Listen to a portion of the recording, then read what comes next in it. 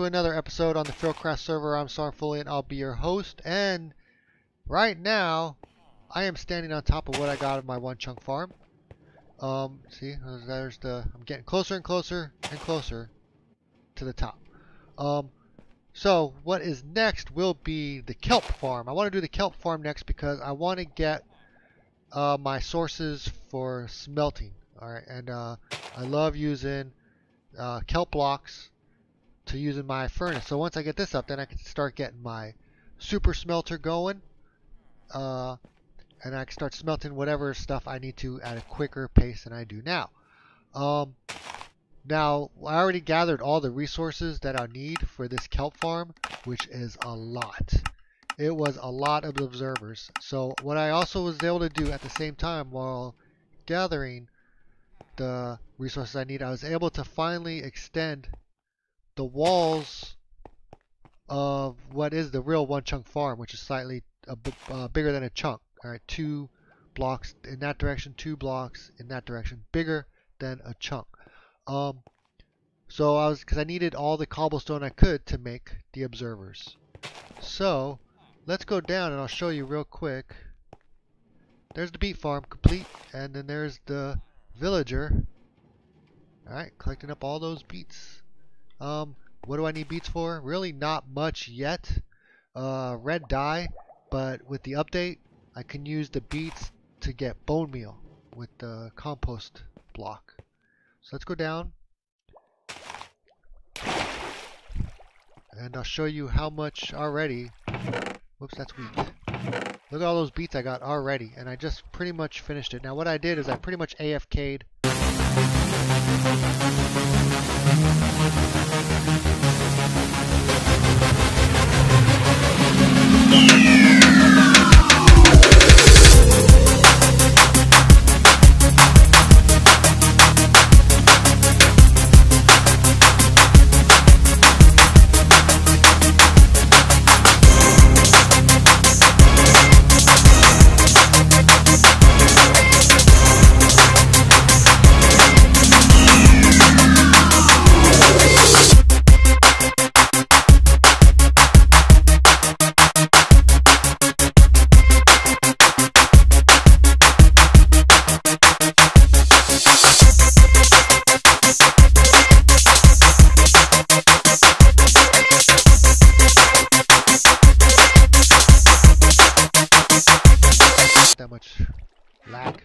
Stuff here.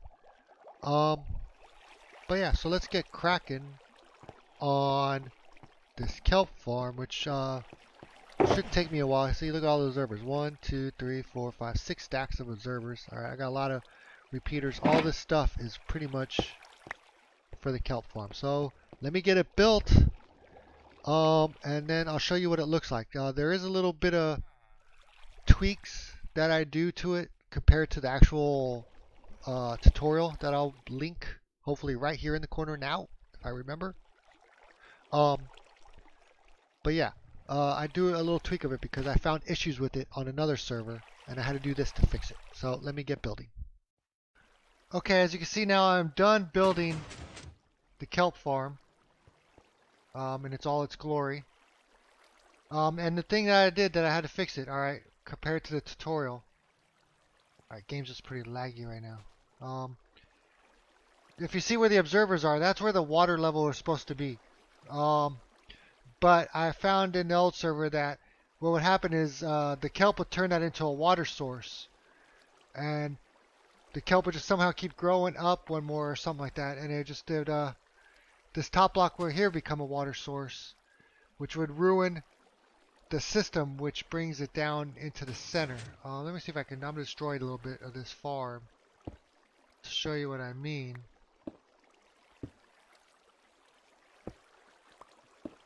Um, it's probably the best view I'll be able to give you guys at the moment. Whoops, too far down. Um, but anyways, what happens is the the kelp floats up, and then there is this other stuff of water right here. You can tell right there the kelp will float onto that and then down and push into the center, down the center chute. Well, what normally what used to happen is sometimes, like I said, above the observer become a water source. So uh, it would cause like the kelp to flow backwards, whatever, and this because this little ramp here would disappear, or it wouldn't work how it's supposed to. So just by simply adding another layer and then doing the the water chute to the center, that sort of fixed it. Um, and um, so I've been doing that for a while, and I've been building this. Uh, even uh, the person who I got the tutorial from Frilioth uh, said, uh, try to, after I built it, it said, hey, uh, put another block or layer over the, the observers. And I'm like, I already did that. It's like, I know the problem. So I'm good. Alright, so now that this is done, what I'm going to do is I'm probably going to do the sugarcane farm. Still debating if I want to do a cactus farm or not because cactus is just good for green dye. And it fills up the storage super fast. I don't know if I want to do that or if I just want to do pumpkin and melons all the way to the top of the iron farm, or until I can reach to to the, the very limit of where I can reach iron farm. The, and the iron farm's limit or height is going to be determined between the space between the top of my beet farm. I think that's the one I got on top. Uh, yeah, beet farm. So I, I think it's like 68 blocks or something like that. I'll do the math again, figure it out.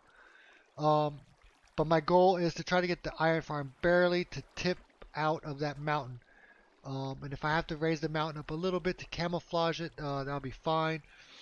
Um, but yeah, so I, I debate maybe not to do a cactus farm and just do layer upon layer upon layer of a pumpkin and melon farm because that one is pretty good. Um, Alright, so let me get uh, building the sugarcane farm. I'll get that built and then we'll see what I want to do from there. Well, I got the sugarcane farm up and running. It's looking pretty nice. It's just like this, copied on the back side of this, with two more sections just like this with the hopper minecart uh, collecting all up. It's a very simple farm. Uh, really, really, really simple. Um, and then I was saying like the next task is like, well, do I want to make a cactus farm? Do I not want to make a cactus farm? Well, I kind of already went ahead and I decided and my decision was to build it. And so we come up here, I've already built it. Yeah, I went ahead. It was this was like the quickest farm. I think it took me only about an hour maybe to build this, and that was also like getting cactus. Um, and then you're having to go to a desert, get some cactus and sand, and yeah, it's pretty simple. But now, for the last bit of this one chunk farm, when I come up here to the top, I put that little tower there, and that is marking where I can put villagers for an iron farm. So it's not that high up off the mountain base, which is good. Um, so I can decorate it to make it look nice when it gets close to that point. But what I am going to do from here all the way up to the bare minimum or the, the highest I could possibly go uh, of nothing but pumpkin and melon farm. So it might be one, two, three, four, five, six layers of this pumpkin melon farm. I don't know, see how it goes. And then right directly above it should be the iron golem killing chamber with the iron farm right on top. The iron golem shouldn't have to fall very far to the killing chamber. Um, so there won't be a long tube. Uh, so I don't know if you're getting what I'm saying, but uh, so I'm gonna get started on this pumpkin farm, I should have a lot of the pieces I need. I know I'm going to need to go get more pistons and observers and all this stuff. But once I get one set done, I'll show you what it looks like. Uh, and again, uh, I'll link uh, link to the, the tutorial where I'm getting all this. Uh, so you know, most likely you already know, but I'll do it anyways. Alright, that's it. Okay, now with the magic of editing, I am done with the first layer of the pumpkin and melon farm. Um, just go down and I'll show you what I've, how I've done it. Alright, this bottom layer here is nothing all but pumpkins. I mean, I could have uh, staggered it pumpkin, melon, pumpkin, melon, but I had more pumpkin seeds. So I just started off with the pumpkins. So yeah, and then the second layer is all melons. Now, now we go up and you can see from the roof. Alright. so ta-da, that is done for that layer. Now I was doing it's every it's five blocks high for that. So if I want to keep it going, one, two, three, four, five, and then Oh, and there goes the daylight sensor. Um, ooh, a little bit laggy here. All right, um, so that's five. So that'll be another layer here. This will be another five layer right, or another layer right here. So I'll make one, two, three, four, five, six platforms, and I might be able to go up one more before I reach the killing point of the golem, iron golem. So yeah, that'd be pretty good. That's just it's a lot of resources for this. But since I got this done, I figured it was time we could do something else. And I'll show you why. So let's go here around this old exit to where I dug that out. Yeah, what we're about to do, this will be the last thing we'll do for this episode. Um, next episode I'll finish up on the pumpkin and melon farm all the way to the top and then probably start the iron farm. And then I'll be done with the one chunk farm and we get, I get going on actual fun stuff. Oh, one thing also I noticed is my little skeleton in my prison is gone. Just gone. Also, all my sheep. All the sheep are gone. Uh, must have been something with when the game was uh, going from server to server to server. Alright, well, finish convert E island. Well, if we look at my map, zoom in, I have got rid of all the cobblestone grids so it doesn't look like a quilt no more. So the island is now done being converted. So I can actually take this and I'm just gonna get rid of all of this.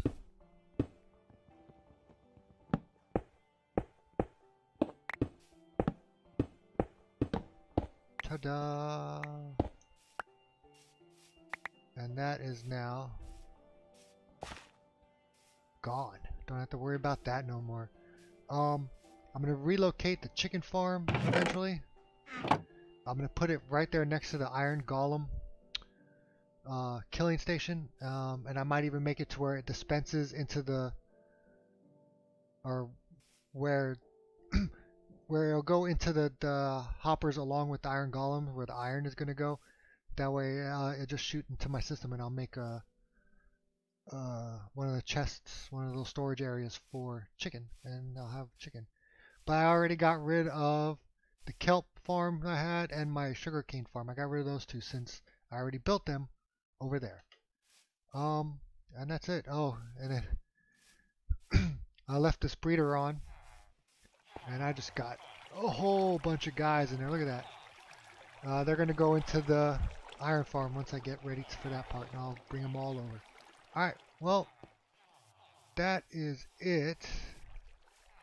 I hope you had fun seeing all the farms I've built. Um, yeah, it's pretty easy. Uh, probably pretty quick too. I mean, it's a long time for me, really short time for you. But you get to see how uh, one chunk farm built in survival uh, and how useful it is. So, Hopefully you have fun. I'll see y'all some other time soon. And uh, yeah, later.